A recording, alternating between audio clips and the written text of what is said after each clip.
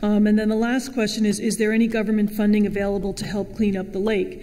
And I think Joe addressed it to some extent. We did actually make a grant application a while back, but when we uh, told them that it was just for the community, they told us that we wouldn't really be eligible for the grant. It would have to be open uh, to all residents of the state in order to be eligible for the grant, and, and we knew that that was not something that the um, residents, or at least everybody that's spoken to it so far, uh, has not been interested in creating a recreational facility that would be open even to the town at large.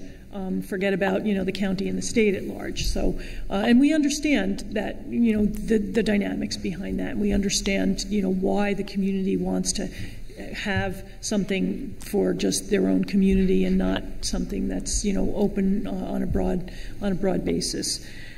Um, so, um, would we continue to look for funding? Of course, we would. Um, we, we, certainly, you know, we'll, we'll, always do that, but we, we understand also the dynamics as to why the community um, is interested in, in the property for their own purposes. And there have been uh, discussions lately by um, different people of setting up different funds to help uh, lake districts and things like that. So, you know, that's not to say that there wouldn't be something, you know, down the pike that would work and, and, and that we would, we would look to, you know, to take advantage of that. So um, I think that that uh, answers the, the questions that, that have been asked with regard to, uh, you know, what happens to those properties. But I, I, I, want to make two things clear. One is that this petition that's been submitted is about the lake. It's not about either of the other properties. Those properties would remain uh, in the ownership of the UOA. And um, I don't know if there's anybody here that's not from Shenorock, but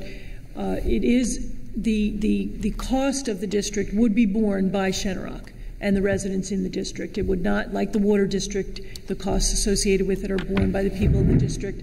So would the park district be borne by the people in the park district, and they would be the only people that would be entitled to enjoy the benefits of it as well. So I hope that answers those questions.